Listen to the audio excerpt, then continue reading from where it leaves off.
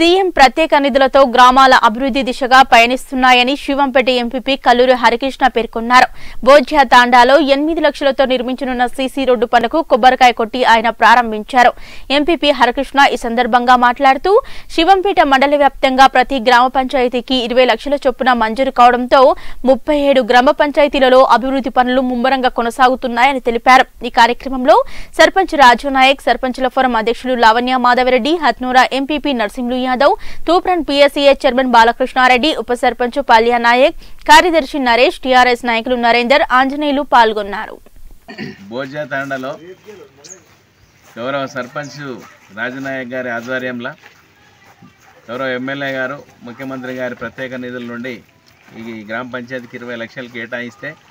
దాంట్లో నుండి ఎనిమిది లక్షల రూపాయలు ఈరోజు సీసీ రోడ్లు పనులు ప్రారంభించడం జరుగుతుంది. మరి తాండాలో ఇప్పటికే మరి ముఖ్యమంత్రి గారి ప్రత్యేక నిధుల నుండి అన్ని తాండాలు కూడా పూర్తిగా సీసీ రోడ్లు మేము చేసిన కొన్ని కొన్ని కారణాల వల్ల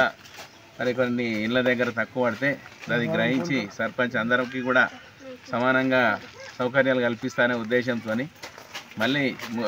ముఖ్యమంత్రి గారి నిధుల నుండి ఎమ్మెల్యే గారి సహకారంతో మరి ఈరోజు సీసీ రోడ్లు ప్రారంభించడం జరుగుతుంది. మరి మంచి రోజులు మరి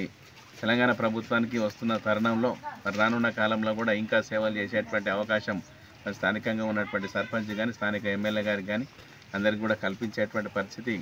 ప్రజల్లో రావాలని చెప్పేసి కోరుకుంటూ ఈ కార్యక్రమానికి విచ్చేసినటువంటి అత్నూర ఎంపీపీ నరసింహ యాదవ్ గారు మండల సర్పంచుల ఫోరం అధ్యక్షులు మాధవరెడ్డి గారు అదేవిధంగా ఎంపీటీసీ లక్ష్మణ్ గారు నవాపేట సర్పంచ్ అశోక్ గారు చిన్నగొట్టముగ్ల సర్పంచ్ నరేందర్ గారు మరి రెడ్డియాతాండ సర్పంచ్ నెహ్రూ గారు? మరి ఇక్కడికి విచ్చేసినటువంటి వార్డు సభ్యులు మరి పిఎస్సిఏ తూప్రాన్ పిఎస్సిఏ చైర్మన్ మరి బాలకృష్ణారెడ్డి గారు